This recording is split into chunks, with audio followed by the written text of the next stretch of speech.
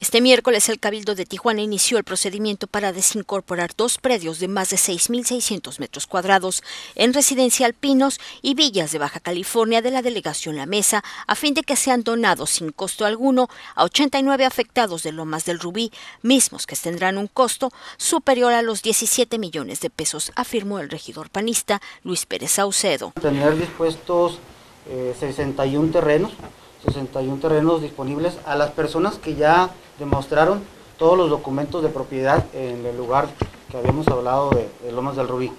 Eh, los terrenos tienen un costo de arriba de 200 mil pesos, eh, son terrenos planos, son terrenos que van a contar con agua, con drenaje, con pavimento, con energía eléctrica y que tienen cercanía también con, el, con las áreas escolares y además del transporte público.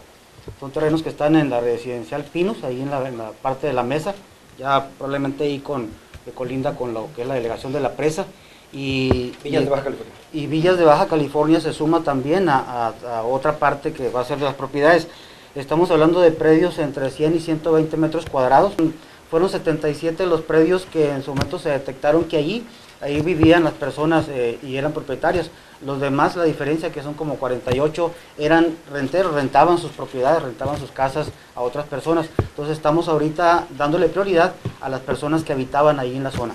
Arnulfo Guerrero León, en su calidad de representante de la fracción de regidores del PAN, destacó que esta donación eventualmente podría ser cobrada a Grupo Melo como parte de los costos y costas que demandará el ayuntamiento en la denuncia que interpuso contra el desarrollador inmobiliario que ocasionó el derrumbe de más de 150 casas.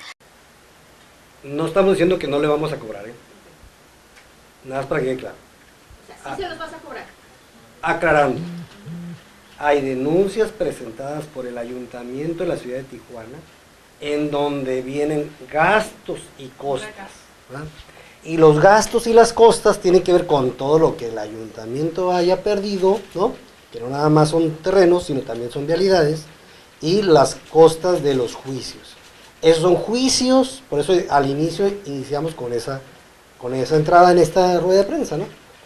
Nosotros estamos haciendo una acción solidaria ante una catástrofe que sucedió ahí, ocasionada por, eh, según el dictamen, un particular. Lo demás es cuestión jurídica de que deben llevar su causa legal y que los, los habitantes, junto con la autoridad, cada uno debe sus juicios. Los habitantes llevan sus juicios, los afectados, y la autoridad lleva su juicio aparte. Entonces, cuando determine el juez, hay un proceso de gastos y costas, ¿no? Y ahí es donde el ayuntamiento debe decir, yo me gasté esto y esto.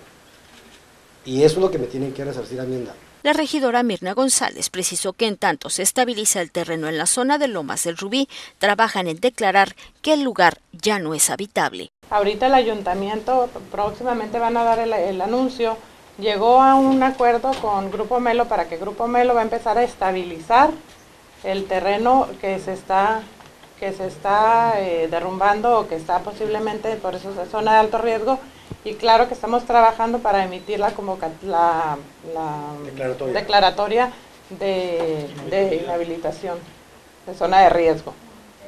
Alguien proponía ahí que se hiciera un área verde, no está ni para área verde, está para que se contenga el muro y se quede como zona inhabitable. Pérez Saucedo mencionó que las familias afectadas han aceptado esta donación como un apoyo independiente a las denuncias que han interpuesto en demanda de sus indemnizaciones. Eh, se han tenido pláticas previas con los vecinos y están de acuerdo.